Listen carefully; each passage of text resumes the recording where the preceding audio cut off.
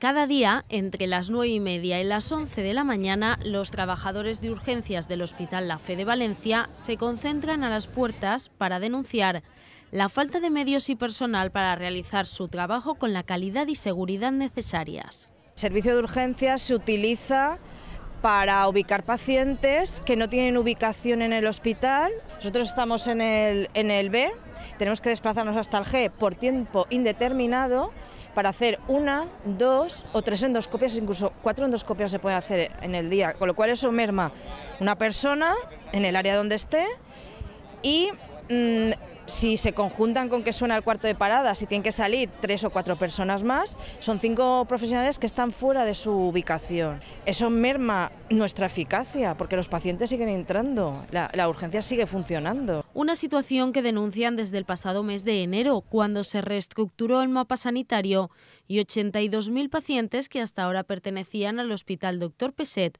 pasaron a depender de la fe. A partir de ahí se nos puso un refuerzo de tres personas que funciona de domingo por la noche hasta viernes, ¿vale? Pero ¿qué ha pasado con eso? Ese refuerzo se ha utilizado para cubrir bajas, eh, ausencias puntuales del personal, entonces como tal refuerzo no ha existido. Aseguran haber vivido situaciones complicadas, como la que se representa aquí, cuando no funcionó el compresor torácico, conocido por sus siglas en inglés como Lucas, durante el mantenimiento de los órganos de un donante en asistolia.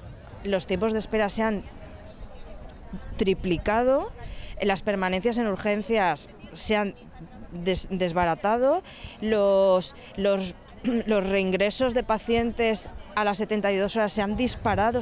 Recogen firmas de los usuarios del departamento y mantendrán las concentraciones hasta final de semana, cuando decidirán si continúan con ellas. Yo no me puedo partir en tres trozos, yo soy una profesional y me dedico a lo que me dedico y no puedo dedicarme a hacer tres cosas simultáneamente a la vez. ¿Por qué? Porque nos están llevando a trabajar al error y eso es muy grave, muy, muy, muy lamentable y los primeros que lo sufriríamos y que lo padeceríamos y que nos lamentaríamos seríamos nosotros.